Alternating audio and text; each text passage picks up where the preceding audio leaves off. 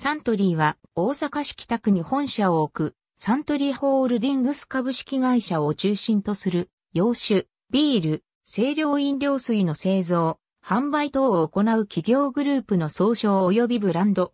事業の主要な部分はアルコール飲料だが、1980年代以降、清涼飲料においても一定の地位を築いた。かつてはサントリー株式会社を中心とするグループであったが、2009年4月1日より持ち株会社制に移行した。1899年2月に鳥居慎次郎がブドウ酒の製造販売を目的とした鳥居商店を大阪市西区、うつぼ中通り2丁目に創業。これを母体として1921年12月1日に大阪市東区住吉町に株式会社ことぶき屋を設立。1929年4月、初めて発売したウイスキーに鳥居慎次郎がサントリーと名付けた。これは当時発売していた赤玉ポートワインの赤玉を太陽に見立てて、サンとし、これに鳥居の姓をつけて、サン、鳥居イコールサントリーとした。創業の元となった赤玉ポートワインに感謝し、太陽を忘れるなという思いを込めたものである。鳥居さんを逆さにしてサントリーとした鳥居に三人の男子がいたから、サントリーにしたという説も広まっているが、これは誤りである。創業者のサジさんと鳥居さんを合わせてサントリーという説もある。1963年3月にビール発売を期して新天地に向かう思いを込めて商品名であったサントリーを社名にも用いてサントリー株式会社に称号変更した。2009年2月16日に持ち株会社としてサントリーホールディングス株式会社を株式移転で設立。同年4月1日にサントリー株式会社が九州分割と新設分割を行い、コーポレート部門を持ち株会社に吸収。同時にサントリーの各カンパニーや事業部を既存子会社への吸収、あるいは子会社の新設により独立。サントリー種類、株式会社、サントリーワインインターナショナル株式会社、サントリー食品インターナショナル株式会社、サントリーウェルネス株式会社、サントリービジネスエキスパート株式会社として、持ち株会社参加の完全子会社とし、純粋持ち株会社制に移行した。事業会社の多くは、東京都港区台場2丁目3番3号が、登記上本店、本社所在地となっている。現在、グループの主要業務は、サントリーワールドヘッドクォーターズで行われ、サントリーホールディングスがグループ全体の経営戦略の策定、推進、及びコーポレート機能を担当し、その方針に沿ってグループ企業が事業活動を展開している。2010年時点にて、グループの主要会社で本社が大阪にあるのは、サントリーホールディングスのみである。種類関連企業や飲料、食品関連企業の中核会社は東京に本社を移転。サントリーホールディングスの関西財界における影響力は2010年代初頭においても強く残っており、課税等を含めて在阪有力企業の一つとして数えられている。2017年現在のコーポレートメッセージは、水と生きるサントリー、またロゴマークも飲料品企業として関わりの深い水をモチーフにしたデザイン及びカラーとなっている。過去には人と自然と響き合うということで響きの文字をモチーフにしたロゴマークと提供クレジットも存在した。なお、響きのマークは現在もサントリーのウイスキー瓶の蓋の部分にあしらわれている。さらに、それ以前の提供番組でのクレジットの読みは世界の名手サントリーであり、ロゴマークは楕円の中にサントリー表記であった。メインバンクは、三和銀行 UFJ 銀行三菱、東京 UFJ 銀行であり、三和グループ系のサミズ会及び、緑会にも加盟している一方、三井グループの広報を務める団体、三井広報委員会にも加盟していたため三井系の企業とみなされることもあるが、同じ関西系企業の住友グループとのつながりも非常に強い。事実、多くの住友系企業のビル内部にはアサヒ飲料とサントリーの2社の自動販売機が設置されている。また、住友系と目されている大金工業とのつながりも非常に強固であり、特にサントリー及び大金工業の先代経営者だった佐治慶三と山田実とは個人的にも非常に親しい関係であった。山田の子息がサントリーに入社していることからもそのことが伺える。東京証券取引所や世界の証券取引所に上場しない非上場企業であり、発行済み株式数の約9割を創業家の資産管理会社であることぶき不動産が所有している。非上場大企業の代表として、上場持ち株会社のサントリー食品インターナショナルを除き上場していない。非上場の理由として、酒の醸造には時間がかかり、短期的な利益を要求される、株式公開に馴染まない株主に商品の味を左右されたくないからまたは直接的な利益に結びつかないメセナ事業のリストラを要求されるためと言われている。佐治信忠は結果としてビール事業が軌道に乗ったのも株式非公開だったからと述べている。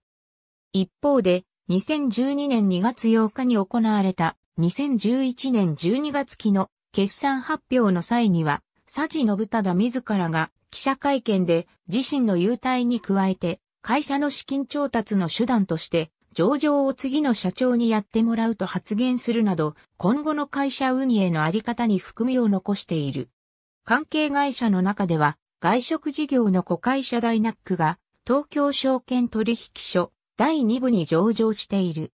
そして、清涼飲料事業の子会社、サントリー食品インターナショナルが、2013年5月29日に、東京証券取引所第一部に上場承認され、同年7月3日に正式に上場し、現在に至る。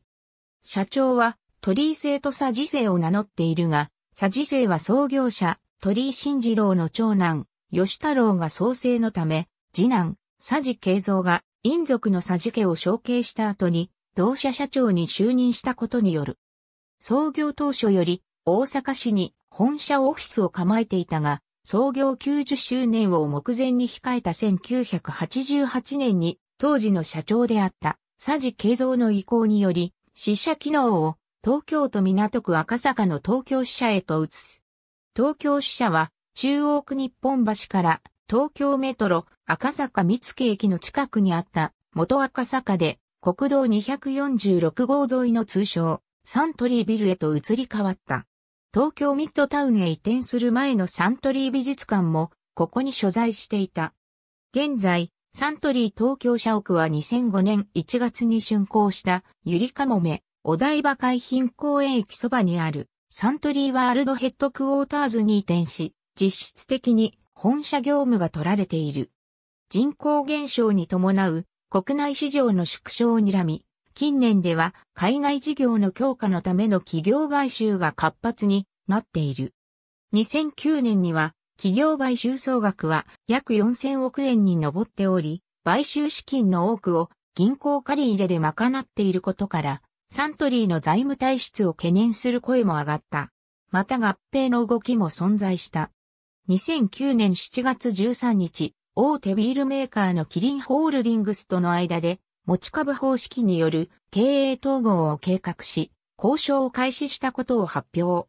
統合すれば、世界最大級の飲料メーカーとなる予定であった。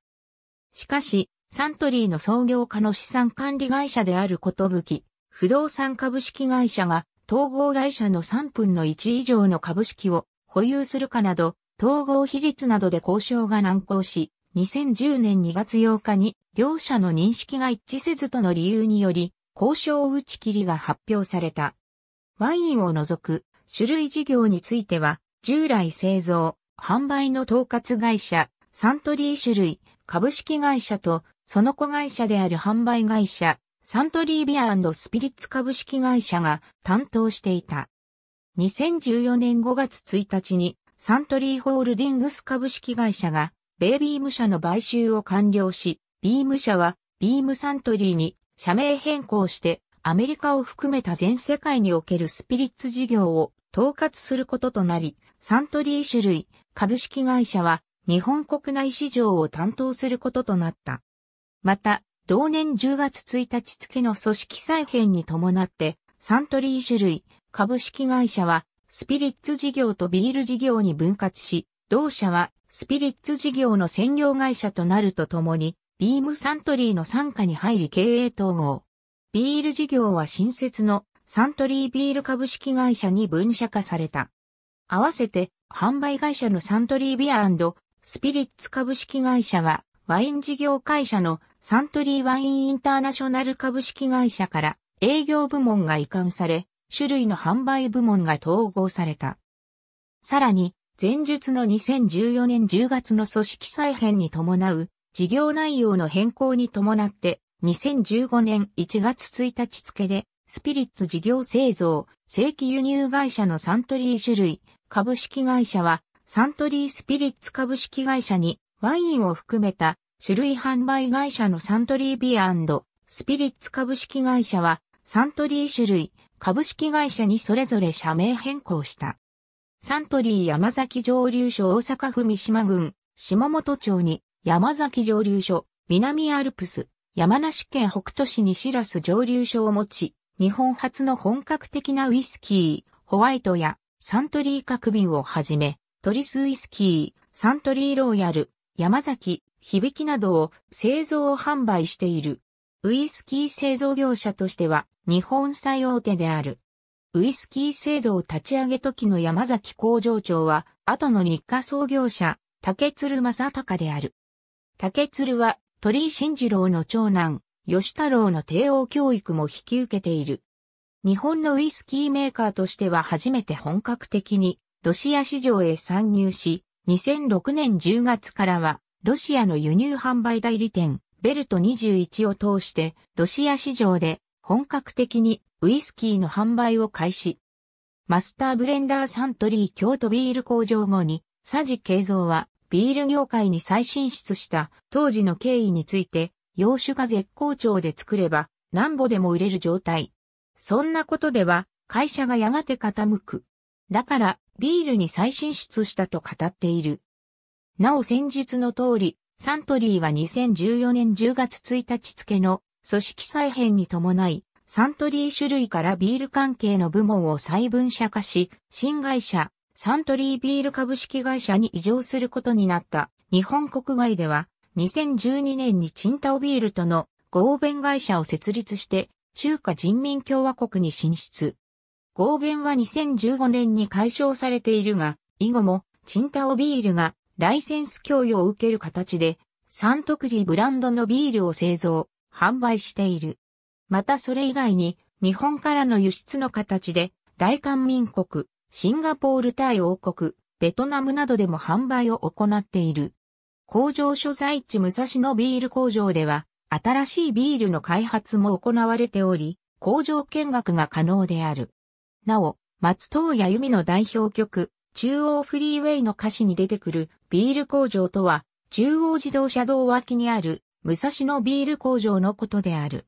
山梨県海市と長野県塩尻市にワイナリーがある。このうち、富の岡ワイナリーは、事前予約制の工場見学ができる。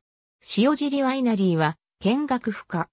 また、各国のワインの輸入、販売を行うとともに、荒廃していたボルドーワインの名門シャトーであるラグランジュを買収し、建て直すなど、中長期的な活動も積極的に行っている。これらワイン事業の多くは、旧サントリーのワイン事業部を継承した完全子会社であるサントリーワインインターナショナル株式会社が行っている。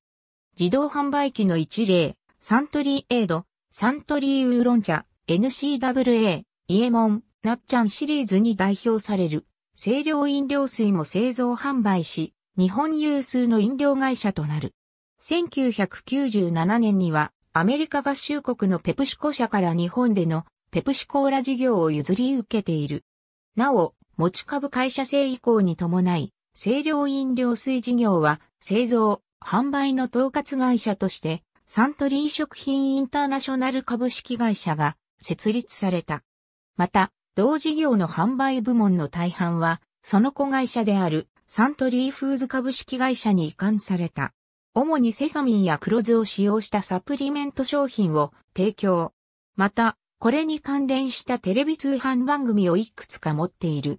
DHA を使用したサプリメント商品など種類が増えている。また2010年より種類製造で蓄積した公募研究をもとに開発されたエイジングケア用基礎化粧品、海 AGE シリーズの通信販売も行っている。これらの事業はサントリーウェルネス株式会社が担当している。埋線外食産業は居酒屋、響き、全丸、トリドリレストラン、パパミラノやカフェのプロントといった各種飲食店を東京や大阪などに展開している。これらの店舗で取り扱われるビールをはじめとする種類や、ウーロン茶などのソフトドリンク類は、もっぱら、サントリーグループ各社の製品である。また海外ブランドの種類、飲料が扱われる場合も、同社グループが輸入、ライセンス扱いを行っているものが中心である。なおサンドイッチのサブウェイのように2018年現在はすでに経営から撤退しているものもある。昼食事業にも参入を示し、2008年1月17日には、トンカツ店のマイセンを展開し、惣菜、カツサンドなどを販売する、井筒マイセン株式会社の買収を発表した。1989年、サフィニア販売で進出。2002年にサントリー本体から事業を分割。子会社のサントリーフラワーズが引き継いでいる。世界初の青いバラ開発などが有名。